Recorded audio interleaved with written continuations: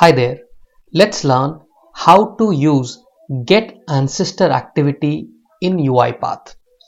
For this, to understand the get ancestor activity, I have taken the rpachallenge.com as the website and I'm going to quickly run the workflow and I want to retrieve the parent ID of this UI element the user interface element. So let me see if i can get the parent id you can see the pid i have mentioned. And i'm going to explain you over it as to how to utilize the get ancestor activity just after this demo. So let's wait. And it's going to take the okay so it has got me the parent id of this ui element which is 8868 okay so what is get ancestor activity and how to use that? Let's learn. Myself rakesh from uipath expo hub channel.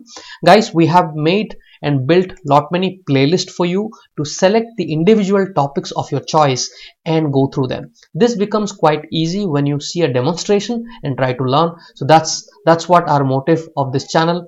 Please do join our channel uh, and help us and support us by liking the videos.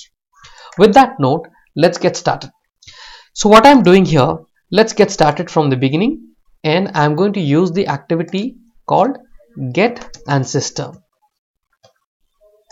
Okay, so once you have this ancestor, get ancestor, the job of this one, if you highlight, it retrieves an ancestor of a specified UI element. That means parent. So if I am a child, my parent ID or my parent name become the, they are the ancestors. My parents' parents become um, the ancestors right? Very simple meaning. So how do you get the information about your ancestors is the job of get ancestor activity okay? Now for this what you do open the rpachallenge.com this you can try on applications on web pages anything you need but first of all let's learn it right? So for that i'm making it simple. I'm using the rpachallenge.com website. So here what i'm going to do i'll click on indicate on screen and I'm going to highlight the submit button. You can try with any of this, okay, any UI element, not necessarily this one, but for this example, let me take submit. Okay, so this becomes a UI element. Now I want to get the parent ID. So for that, what you do on your UiPath Studio, open UI Explorer. Okay, so once you open UI Explorer, what you do, click on indicate element and highlight the submit button. So why i am saying ui uh, ui explorer? Just to understand and see what is the parent id so the moment you select on the left hand side on the visual tree you will find it will be there will be something auto highlighted okay so the input box the you can see the input type equals to submit. So this is automatically highlighted. So his parent will be this one right? This is the parent. Uh, these are the ancestors. If you go up and up and up these are the ancestors. Now if you select let's say this one. If you select this particular one div one and let's see what is the parent id okay the parent id is pid parent class is this uh, parent id is 8868 so every ui element will have a parent id okay? So the parent id is 8860 so this is an indication for you. So this this is the parent this is the next parent this is the next parent right? Each layer is a parent. So this parent. So like that you can find the information about the parent id okay? So let's see. So you got to see how the parent or the ancestor information is pulled using UI Explorer. It's a visual indication for you to understand what becomes the parent ID, right? So you can just highlight one of it and then try to see the parent ID. So parent ID is 880. So if I go up, let's say if I go to form, even the parent, the parent of all of these children remains the same 8860.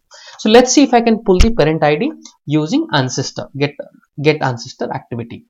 So get ancestor activity I have pulled in. I have highlight the specific UI element.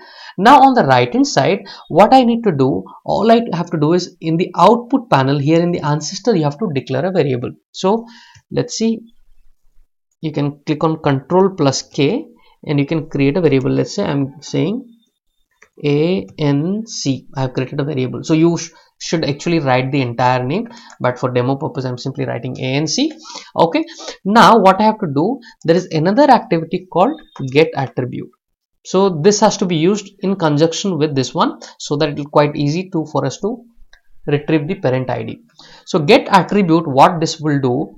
Here your output is ancestor right? Anc is your variable which is containing the details of the ancestors.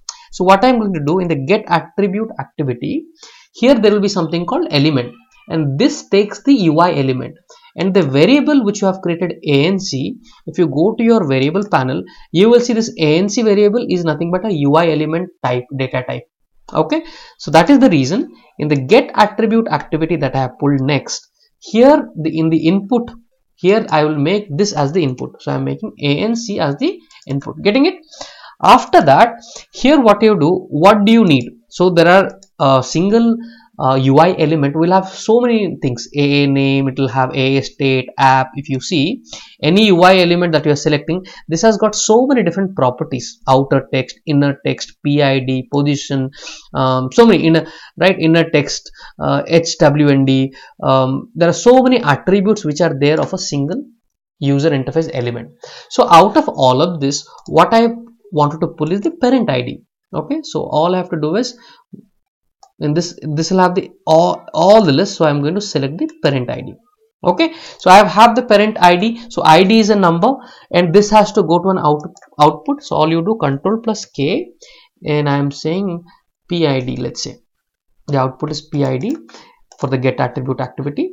And all you have to do go to the variable panel. And here it is string right? Just change it to so depending on the kind of data you are retrieving let's say you are retrieving string value then keep it string. If you're retrieving an id number then make it integer so depending on your need. Okay? So once i have done that i want to see the output. So to see the output for experiment purpose we will be using a message box. And in this message box all i have to do is i have to simply say pid which is an integer kind of a data dot to string I will say. So that it will convert it to string and show you the value in the message box. Message box is a string type right? Okay. So once I have done this all I have to do is just run it and keep your page at the background. Okay. So it started working and you can see it has it is able to pull the 8868 which is the correct number if we check against the UI Explorer right? If we go to the UI Explorer the parent ID is exactly 8868 okay guys so I hope this video must have helped you. Uh, in case you are you are searching for get ancestor activity and you are not able to get a proper video so I think this could help you a lot Thank you very much and do not forget to hit on the like button. Please do continue to support us. Your support by hitting a like button would help us. Thank you very much. You guys have a wonderful day.